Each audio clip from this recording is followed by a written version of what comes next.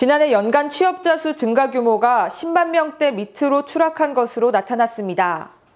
특히 실업자 수는 3년째 100만 명을 유지했고 관련 통계가 작성된 2000년 이래 최대 규모입니다. 9일 통계청은 이 같은 내용이 담긴 12월 및 연간 고용 동향을 발표했습니다. 실업자는 107만 3천 명으로 100만 명을 돌파했습니다. 2000년 이래 가장 큰 규모이자 3년 연속 100만 명 이상의 실업자가 있음을 보여줬습니다.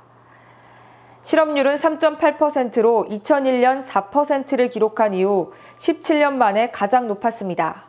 반면에 청년 실업률은 9.5%로 전년보다 0.3%포인트 나아졌습니다.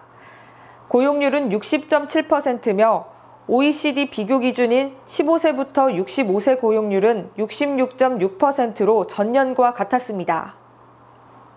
노동시장 이탈 인구를 나타내는 비경제 활동 인구는 1628만 7천 명으로 전년보다 10만 4천 명 증가했습니다.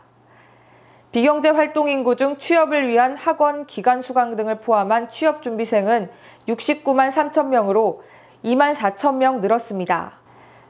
홍남기 경제부총리 겸 기획재정부 장관은 9일 열린 5차 경제활력대책회의 및 2차 경제관계장관회의를 통해 지난해 고용부진은 생산 가능 인구의 감소와 자동차 조선 등 주력 산업 구조조정을 비롯해 자영업 부진, 일부 정책적 요인 등이 복합적으로 작용했다며 올해 일자리 15만 개 창출을 목표로 경제 활력 제고에 심혈을 기울이겠다고 밝혔습니다.